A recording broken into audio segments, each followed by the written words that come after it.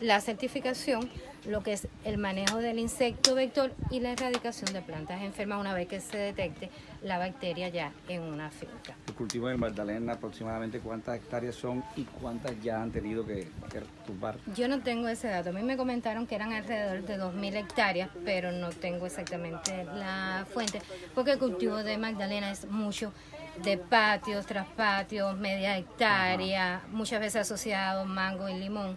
Entonces, eh, ese dato estaría Pero en ya- la ya plataforma, pero ya cortar. se empezó a erradicar. Si uno viaja de aquí de Sevilla a Santa Marta, ve que hay árboles ya erradicados y que hay personas que han ido cambiando a papaya, a mango, han ido Una cambiando de cultivo. pregunta, ¿el consumidor qué, qué efecto tiene? No, para el ser humano no tiene efecto la, la bacteria, pero sí el fruto va perdiendo calidad y generalmente tiene un sabor amargo. Y para el consumidor también ya se está viendo el precio del limón. Ya no hay la misma cantidad de limón y ya se está trayendo limones de otros departamentos. Entonces, ahí se va a sentir también el Esperamos que esté bolsillo. controlado, ¿no? En otros departamentos.